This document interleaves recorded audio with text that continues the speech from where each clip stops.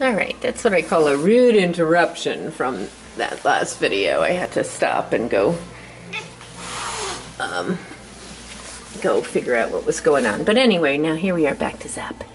Um, so this this environment a bit overwhelming for him, and he's new to this environment. Um, the, his biggest issue is he doesn't like to be restrained. So that means, and restrain means, you know, you put your hands on him and you're going to pick him up to do something. Put him in the carrier, put him on the lap, get him off the counter, whatever it is. That type of thing makes him super, super nervous.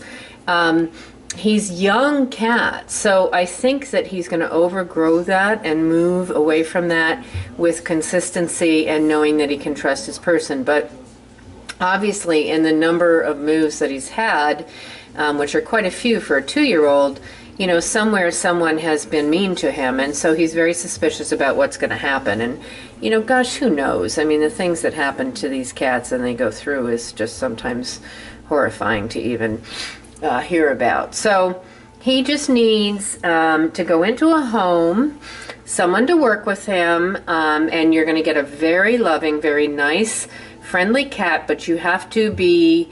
You can. I don't, I'm not going to say hands off because hands on is fine. He likes to be pet, brushing, um, touching. All those things are good. He just doesn't like to be. Uh, held onto like you have a purpose with holding him that makes him nervous. So I think over time, um, I know over time that will dissipate. But initially, and of course, he's now in an environment where what's happening? Well, I'm trying to catch him to get him to the vet. I'm trying to pick him up to give him his worm medicine. I'm trying to, you know, do this, that, and the other thing. So it's not really helping. Um, you know what's happening here. So we need to get him into a home.